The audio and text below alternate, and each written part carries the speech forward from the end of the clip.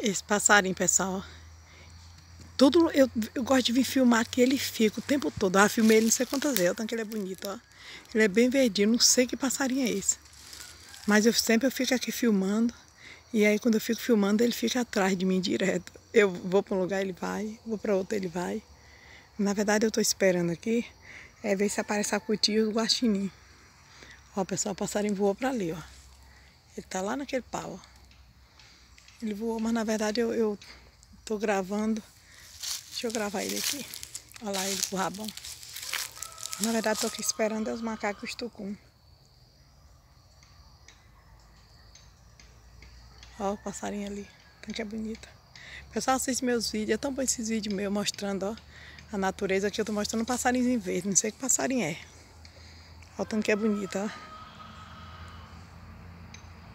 Lindo, pessoal, ó passarinho ali. Pessoal, olha aqui essa natureza. Olha pra cá pra você ver, ó. Como que é bonito, ó. A gente tem que preservar, ó. Tudo lindo, ó. Bonito demais, pessoal. Passarinho tá lindo, pau. Eu tô bem aqui esperando os macacos, eu acho que eles sempre pra cá, que eles saíram correndo. Os, os macacos do guaxinim estão... Os macacos do guaxinim estão dentro desse mato aí. Só que aí é brejo, tem sucuri, tem tudo, aí ninguém confia em entrar. Né? É muito perigoso aí. a gente tem que ficar assim perto, aos arredor, porque quem é que vai dar pé aí para sucuri pegar? Viu? A mata que é virgem. Olha o tanto que é bonita essa mata. Pessoal, eu tô aqui atrás dos macacos, porque eu não consegui filmar ele de perto, ele estava correndo muito. Mas olha o tanto que é bonito, pessoal.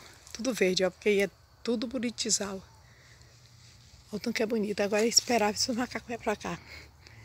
É, é, a dona daqui disse que eles já vieram cedo. Os macacos com a china as cutias. Aí eu, tá, eu já vi uma hora descendo, não sei se vai. Se eu vou pegar ele, mas ó, como é tudo verdinho. Tudo verdinho, ó. O pincel de Deus. Tudo verdinho, pessoal, ó. Aqui, ó. A fauna, a flora. Isso que a gente não pode cortar as aves, a gente tem que deixar as aves crescer, ó. Olha os buritizal. Olha lá atrás do buritizal. Ó, pra lá é tudo buriti, ó. Tudo mata virgem, que nunca foi desmatado, ninguém planta, ninguém faz nada. Porque não pode é, tirar essas, esses paus, porque se tirar os paus, os corgos seca. O corgo, né, que aqui é nascente. Olha o jeito, pessoal, tão que é bonito.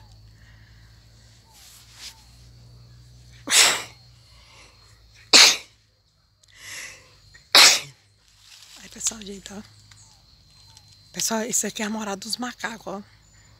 Macaco, mutum, tudo fica aí dentro.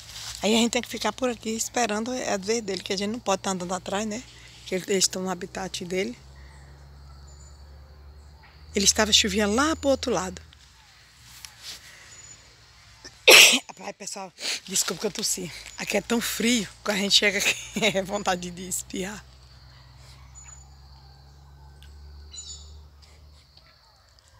Olha o que é bonito, pessoal. Lindo, lindo os pés de coco, ó.